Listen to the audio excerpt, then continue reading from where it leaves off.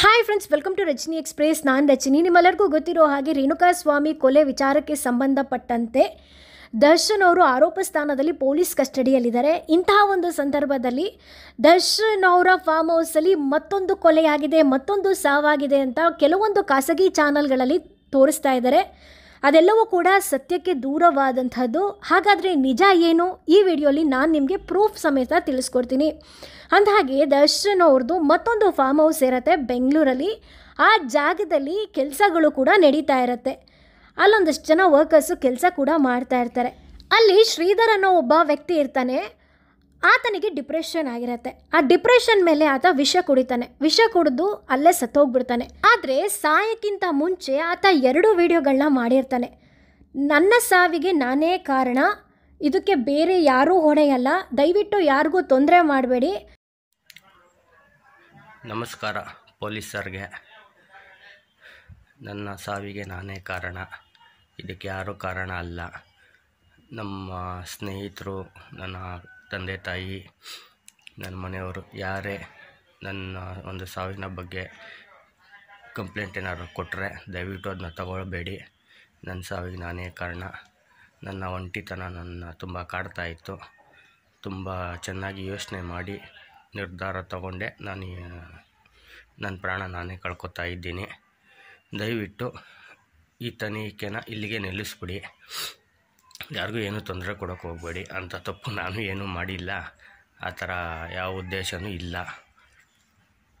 ಕೇಳ್ಕೊತಾ ಇರೋದಿಷ್ಟೇ ಸುಮ್ಮನೆ ಈ ವಿಚಾರವಾಗಿ ಅವ್ರಿವ್ರಿಗೆ ತೊಂದರೆ ಆಗಬಾರ್ದು ಅನ್ನೋದಷ್ಟೇ ನನ್ನ ಉದ್ದೇಶ. ಅದಕ್ಕೆ ನಾನು ಲೆಟ್ರೆಲ್ಲ ಬರೆದಿದ್ದೀನಿ. ಅದಕ್ಕೋಸ್ಕರ ಈ ವಿಡಿಯೋ ಕೂಡ ಮಾಡ್ತಾ ಇದ್ದೀನಿ. ದಯವಿಟ್ಟು ಯಾರಿಗೂ ತೊಂದರೆ ಕೊಡಬೇಡಿ. ನನ್ನ ಸಾವಿಗೆ ನಾನೇ ಕಾರಣ. ಇದಕ್ಕೆ ಯಾರೂ ಕಾರಣ ಅಲ್ಲ. ಸಾಯ್ಬೇಕು, ಸಾಯ್ತೀನಿ ಅಂತ ಹೇಳಿ ವಿಡಿಯೋ ಮಾಡಿರ್ತಾರೆ. ಆದರೆ ಇವರು ಸತ್ತಿರಲ್ಲ. ಸ್ವಲ್ಪ ದಿನ ಆದಮೇಲೆ ಮತ್ತೊಂದು ವಿಡಿಯೋ ಮಾಡ್ತಾರೆ. ಯಾವುದೋ ಒಂದು ಕಾರಣದಿಂದ ಅಂದರೆ ನನ್ನ ಪರ್ಸ್ನಲ್ ನನಗೆ ಒಂಟಿತನ ತುಂಬ ಕಾಡ್ತಾ ಇದೆ. ನನಗೆ ಬದುಕಬೇಕು ಅನ್ನೋ ಆಸೆ ಇಲ್ಲ. ಅದಕ್ಕೋಸ್ಕರ ನಾನು ಸಾಯ್ತಾ ಇದ್ದೀನಿ ಇವತ್ತು. ನನ್ನ ಸಾವಿಗೆ ನಾನೇ ಕಾರಣ. ನನ್ನ ಸಾವಿಗೆ ಯಾರೂ ಕಾರಣ ಅಲ್ಲ. ದಯವಿಟ್ಟು ನನ್ನ ಸಾವಿನ ಒಂದು ಹಿನ್ನೆಲೆ ಇಟ್ಕೊಂಡು ದಯವಿಟ್ಟು ಯಾರಿಗೂ ತೊಂದರೆ ಕೊಡೋಕ್ಕೆ ಹೋಗಬೇಡಿ. ನನ್ನ ಸಾವಿಗೆ ಯಾರೂ ಕಾರಣರಲ್ಲ. ನನ್ನ ಸಾವಿಗೆ ನಾನೇ ಕಾರಣ. ಪೊಲೀಸ್ ಸರ್ ನನ್ನ ಸಾವಿಗೆ ನಾನೇ ಕಾರಣ. ದಯವಿಟ್ಟು ಯಾರಿಗೂ ತೊಂದರೆ ಕೊಡೋಕೆ ಹೋಗ್ಬೇಡ್ರಿ. ನಮ್ಮ ಮನೆಯವ್ರಿಗೆ ನಾನು ಹೇಳ್ತಾ ಇರೋದಿಷ್ಟೇ ನನ್ನ ತಂದೆ, ತಾಯಿ ನಮ್ಮ ಅಕ್ಕಂದಿರು, ನನ್ನ ಸ್ನೇಹಿತರು ಎಲ್ಲರಿಗೂ ಹೇಳ್ತಾ ಇದ್ದೀನಿ. ನನ್ನ ಸಾವಿಗೆ ನಾನೇ ಕಾರಣ. ದಯವಿಟ್ಟು ಯಾರಿಗೂ ತೊಂದರೆ ಕೊಡೋಕೆ ಹೋಗ್ಬೇಡ್ರಿ. ನಾನು ಸಾವಿಂದ ಸುಮ್ಮನೆ ಅವರಿದ್ದಾರೆ, ಇವರಿದ್ದಾರೆ, ಅವ್ರ ಜೊತೆ ಹೋಗಿದ್ದ, ಇವ್ರ ಜೊತೆ ಹೋಗಿದ್ದ. ಲಾಸ್ಟ್ ಅವ್ರಿಗೆ ಫೋನ್ ಮಾಡ್ದ. ಅಂತ ಸುಮ್ಮನೆ ಅವೆಲ್ಲ ಯಾವುದೂ ಅವ್ರಿಗೆ ದಯವಿಟ್ಟು ತೊಂದರೆ ಕೊಡೋಕೆ ಹೋಗ್ಬೇಡಿ. ಇದಕ್ಕೆ ಯಾರೂ ಕಾರಣರಲ್ಲ. ನನಗೆ ನಾನೇ ಕಾರಣ. ನಾನು ತುಂಬ ಚೆನ್ನಾಗಿ ಯೋಚನೆ ಮಾಡಿನೇ ಈ ನಿರ್ಧಾರ ತೊಗೊಂಡಿರೋದು. ನನ್ನ ಸಾವಿಗೆ ನಾನೇ ಕಾರಣ. ದಯವಿಟ್ಟು ಯಾರಿಗೂ ತೊಂದರೆ ಕೊಡೋಕೆ ಹೋಗ್ಬೇಡ್ರಿ. ನನ್ನ ಸಾವಿಗೆ ನಾನೇ ಕಾರಣ. ಪೊಲೀಸರ್, ದಯವಿಟ್ಟು ನನ್ನ ಸಾವಿನ ಒಂದು ಇದನ್ನ ಇಟ್ಕೊಂಡು ದಯವಿಟ್ಟು ಯಾರಿಗೂ ತೊಂದರೆ ಕೊಡೋಕೆ ಹೋಗ್ಬೇಡ್ರಿ. ಯಾರು ಇಲ್ಲದೆ ಇರೋ ಸಮಯ ನೋಡಿಕೊಂಡು ವಿಷ ಕುಡ್ದು ಇವರು ಸತ್ತೋಗ್ತಾರೆ. ಅದಾದಮೇಲೆ ಪೊಲೀಸವ್ರು ಬರ್ತಾರೆ ಇನ್ವೆಸ್ಟಿಗೇಷನ್ ಮಾಡ್ತಾರೆ.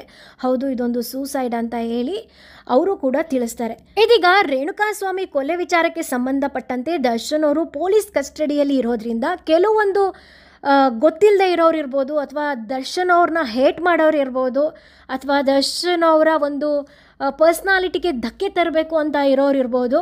ಸೊ ಈ ಒಂದು ವಿಷಯವನ್ನು ತಗೊಂಡೋಗ್ಬಿಟ್ಟು ತಿರುಚಿ ತಿರುಚಿ ಎಲ್ಲ ಕಡೆ ಸ್ಪ್ರೆಡ್ ಮಾಡ್ತಾ ಇದ್ದಾರೆ ಇದೊಂದು ಆತ್ಮಹತ್ಯೆ, ಇದು ಕೊಲೆ ಅಲ್ಲ.